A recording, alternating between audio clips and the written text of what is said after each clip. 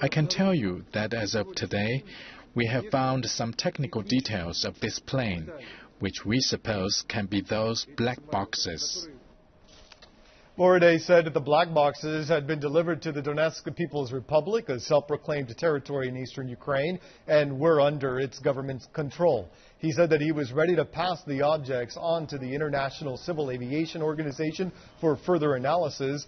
Also on Sunday, Reuters news agency released videos showing rescue workers covering and recovering what appeared to be a flight recorder from the wreckage of the Malaysia airliner.